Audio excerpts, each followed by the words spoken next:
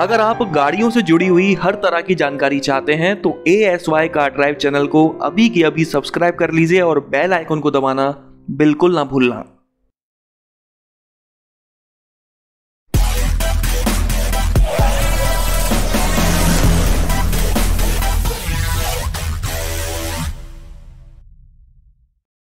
China पूरी दुनिया में कुछ बातों के लिए काफ़ी फ़ेमस है।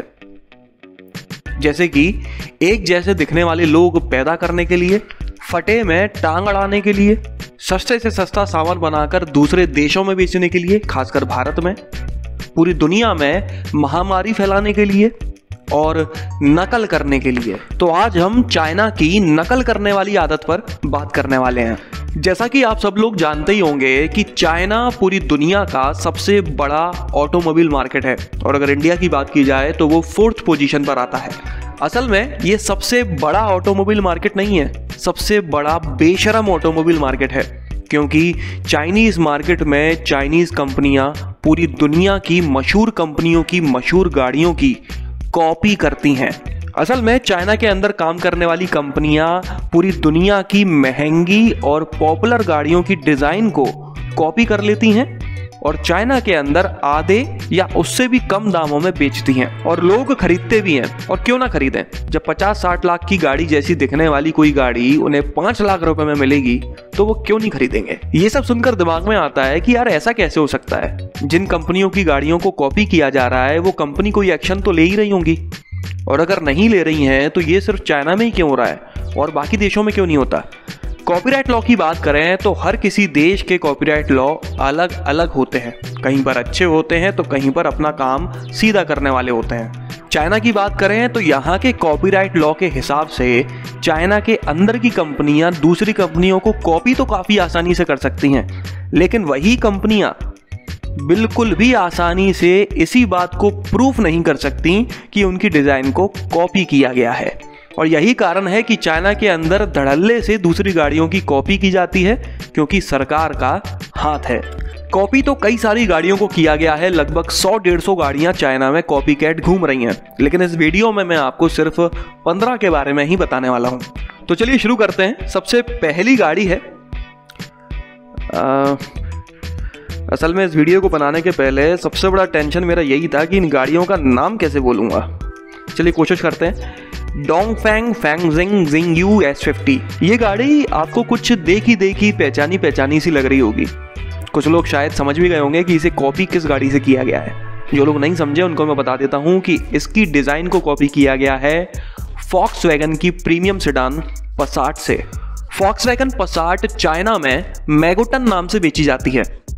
इंडियन करेंसी के हिसाब से चाइनीज़ मार्केट में यह गाड़ी 20.18 लाख रुपीस से शुरू होकर 33.45 लाख रुपीस तक की मिल जाती है। लेकिन इस गाड़ी की कॉपी मतलब कि इस जैसी दिखने वाली गाड़ी, वहाँ पर इंडियन करेंसी के हिसाब से सिर्फ़ 5.28 लाख रुपीस से शुरू होकर 9.71 लाख रुपीस की मिल जाती है। मतलब कि 34 लाख रुपए की फॉक्स वैगन पसाट जैसी दिखने वाली गाड़ी आपको सिर्फ़ सवा पाँच लाख रुपए की मिल जाती है चाइना में। गजब भाई इतनी तरक्की कहाँ ले जाओगे? दूसरी गाड़ी के बारे में बात करते हैं तो आप अपनी स्क्रीन पर मॉरिस गैराजेस की जी एस को देख सकते हैं, आगे से, पीछे से, अंदर से। और अब देखिए इस गाड़ी के कॉपी कैट की इमेजेस जिसका नाम है डोंगफेंग ए एक्स फोर ये copycat A X four Indian currency के हिसाब से चाइना में 8.18 लाख रुपीस से शुरू होकर 9.26 लाख रुपीस की मिलती है। जबकि इसका ओरिजिनल वर्जन मतलब कि Morris Garages G S 12.92 lakh rupees से शुरू होकर 19.28 लाख रुपीज़ की मिलती है चाइना में। तो यहाँ पर भी वही कहानी है। रीबॉक की जगह रीबुक बेचेंगे एडिडास की जगह रीडास बेचेंगे। क्या करें? आदत से मजबूर हैं। चलिए तीसरी गाड़ी के बारे में बात कर लेते हैं। अगर लैंड रोवर डिस्कवरी स्पोर्ट जैसी प्रीमियम कार का नया मॉडल आपको सिर्फ़ 9 लाख रुपए में खरीदने को मिल जाए तो क्या आप नहीं खरीदेंगे? चाइनीज़ मार्केट में original Discovery Sport 38.53 lakh rupees की मिलती है।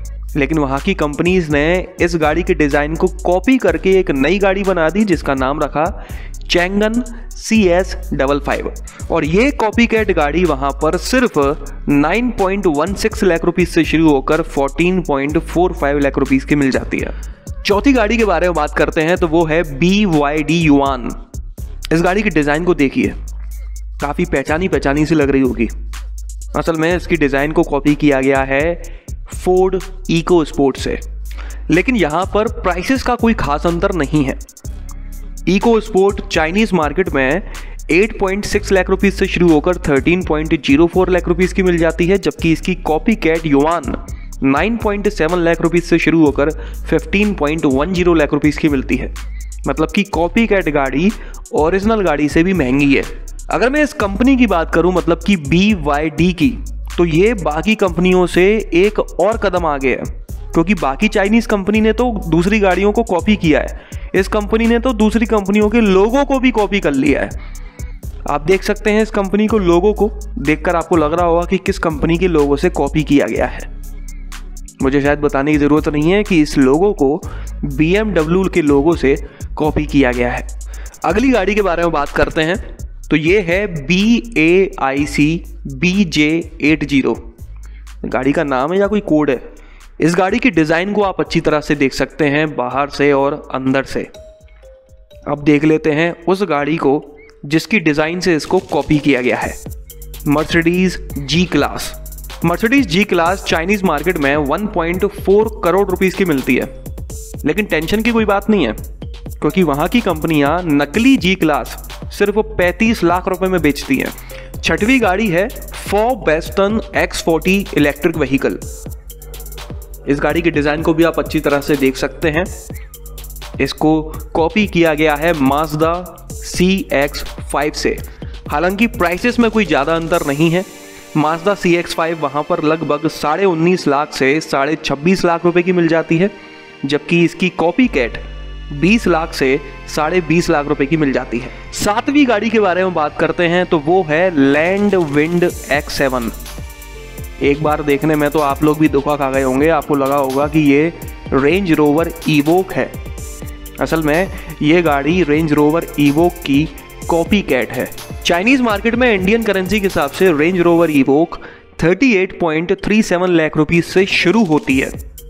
जबकि इसकी copy cat land wind X seven सिर्फ़ 14.022 16.29 लाख रुपीस की मिल जाती है। अगली गाड़ी के बारे में बात करते हैं तो टोयोटा आल्फर्ड को तो आप लोगों ने देखा ही होगा। इंडियन मार्केट में भी टोयोटा वालों ने इसी से मिलती जुलती वेल फायर को लॉन्च किया है अभी हाल ही में। ये एक प्रीमियम एम है चाइनीज़ मार्केट में भी ये गाड़ी 80.60 लाख रुपीज़ से शुरू होकर 84.82 लाख रुपीज़ की मिलती है। इतने प्राइसेस सुनकर हम लोग सोचते हैं कि छोड़ो यार, गाड़ी बजट में नहीं है, कोई और देखते हैं। लेकिन चाइना में ऐसा नहीं होता, क्योंकि वहाँ पर टोयोटा आल्फर्ड जैसी दिखने वाली गाड़ी सिर्फ़ 13.94 लाख रुपीस से शुरू होकर 33.60 लाख रुपीस की मिल जाती है। इस नकली टोयोटा अल्फर्ड का नाम है रोइली डोडा V8 रॉल्स रॉयस की गाड़ियाँ कौन नहीं खरीदना चाहता? लेकिन कुछ ही खुशकिस्मत लोग खरीद पाते हैं। रॉल्स रॉयस की कई सारी प्रीमियम कार्स में से एक है रॉल्स रॉयस फैंटम ये गाड़ी इंडिया में लगभग 9 से 11 करोड़ रुपए की मिलती है। इंडिया ही नहीं, पूरी दुनिया में इतनी महँगी गाड़ी खरीदना हर किसी के बस की बात नहीं है। लेकिन अगर हम चाइना के बारे में बात करें तो वहाँ पर इस गाड़ी को खरीदना हर किसी के बस की बात है। क्योंकि वहाँ पर नकली रोल्स रॉयस फैंटम सिर्फ़ 24 लाख से 36 लाख रुपए की मिल जाती है। इस नकली रोल्स रॉयस का नाम है गीली जीई गीली वालों ने सिर्फ़ रोल्स रॉयस की गाड़ी को ही कॉपी नहीं किया है। स्प्रिट ऑफ़ एक्सटेसी जिसपे रोल्स रॉयस का कॉपीराइट है, उसे भी गीली वालों ने कॉपी कर रखा है। मतलब भाई यार, खुद का कुछ तो कर लो। अगली गाड़ी के बारे में बात करते हैं तो आप अपनी स्क्रीन पर एक गाड़ी को देख पा रहे होंगे।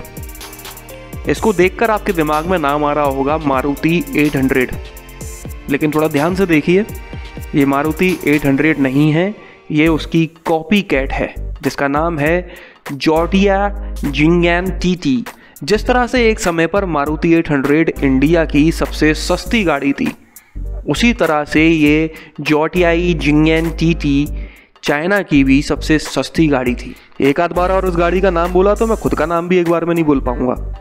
800 की कॉपी कैट में भी 800 सीसी का ही थ्री सिलेंडर इंजन दिया हुआ था, जो 37 सेवन की पावर जनरेट करता था और 60 एन का टॉर्क इस इंजन में चाइना में 19.23 के का माइलेज क्लेम किया जाता था।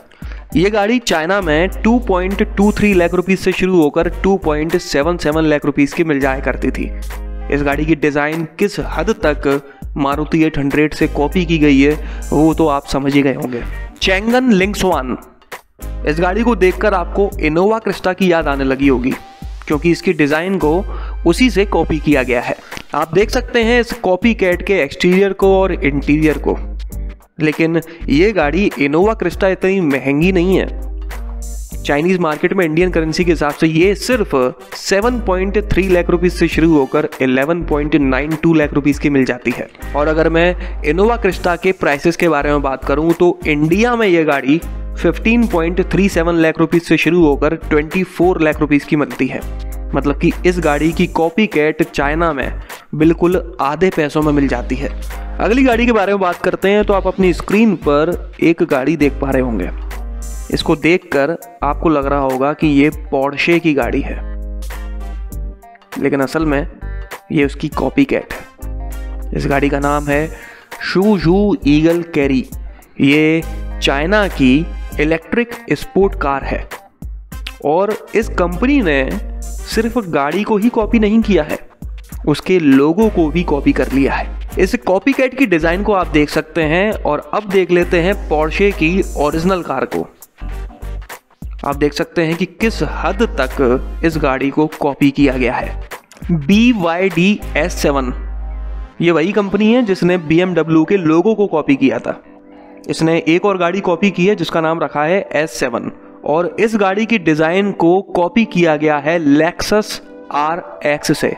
चाइनीज़ मार्केट में Lexus R X forty lakh rupees से शुरू होकर eighty five point nine one lakh rupees की मिल जाती है, जबकि इसकी कॉपी कैट सिर्फ़ 10.74 लाख रुपीस से शुरू होकर 16.11 लाख रुपीस की मिलती है। फोर्टीन कार है ब्रिलियंस V5 इस गाड़ी के एक्सटीरियर को इंटीरियर को आप अच्छी तरह से देख सकते हैं।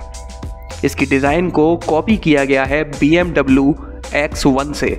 एक्स वन चाइनीज़ मार्केट में 30 लाख से 37 लाख रुपए की मिलती है, जबकि इसकी कॉपी कैट ब्रिलियंस V5 सिर्फ़ साढ़े नौ लाख से सवा ग्यारह लाख रुपए की मिल जाती है। फिफ्टीन कार के बारे में बात करते हैं तो हमर कौन नहीं जानता इस गाड़ी को और कौन पसंद नहीं करता इस गाड़ी को। लेकिन चाइना की कंपनियों ने इस गाड़ी को भी कॉपी करने से नहीं छोड़ा। एक नहीं, कई सारी कंपनियों ने इस गाड़ी के डिज़ाइन को कॉपी किया है, जैसे कि डोंग फैंग हानमा Dongfeng Mengshi, Xiao, long Excel, इन गाड़ियों की डिज़ाइन को पूरी तरह से कॉपी किया गया है हमर से। एग्जैक्टली exactly प्राइसेस तो मुझे नहीं पता, लेकिन हमर की तुलना में ये गाड़ियाँ चाइनीज़ मार्केट में काफ़ी सस्ती मिल जाती हैं। तो आप देख सकते हैं कि दुनिया के सबसे बड़े ऑटोमोबाइल मार्केट में किस तरह से नकली गाड़ियों को बनाया और बेचा जाता है। काफ़ी सारी कंपनियाँ चाइना की इन कंपनियों के ऊपर कॉपीराइट का केस लगा चुकी हैं, लेकिन चाइना के एक तरफा कॉपीराइट लॉ की वजह से कुछ ही कंपनियाँ जीत पाई हैं, ज़्यादातर कंपनियाँ हार जाती हैं। तो चलिए कमेंट कर कर मुझे बताइएगा कि चाइना की इस एक और करतूत पर आप कौन से दो शब्द कहना चाहेंगे? इस वीडियो में तो बस इतना ही। अगर आपको ये पसंद आया हो तो इसे लाइक कर दीजिएगा, इस चैनल को सब्सक्राइब कर लीजिए और बेल आइकन को दबाना बिल्कुल ना भूलना। आपका दिन शुभ रहे। धन्यवाद।